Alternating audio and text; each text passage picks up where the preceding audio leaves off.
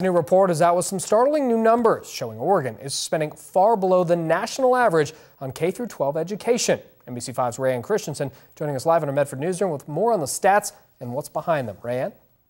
Craig, according to the new report released by the U.S. Census Bureau, Oregon schools have had worse financial setbacks than other states in the, in the country. And that may be why in 2011-2012, Oregon spent only 89 cents per student for every $1 spent nationally.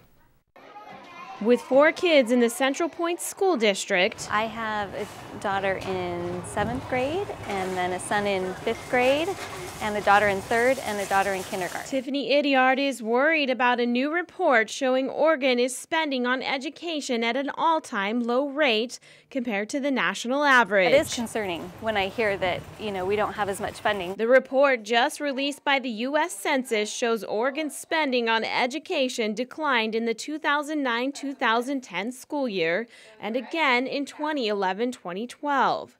It's the lowest Oregon schools have been funded since record keeping started. What is it that they're missing out on? Oregon Chief Education Officer Nancy Golden says decreased funds, bigger class sizes, and shorter school years may be why Oregon has one of the worst high school graduation rates.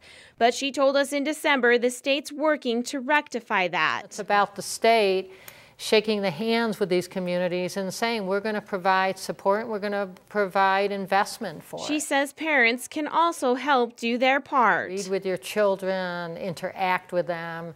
Um, as students are reading at grade level by third grade. They have three times as much of a chance of going to college. The Oregon legislature is lending a helping hand. In 2013, they approved more than $700 million of additional state funding to go to education. Any boost to their ability to, to teach our children is wonderful. So that is good news. Movement in the right direction. Something Idiard can get behind as this troubling report shows much improvement is needed.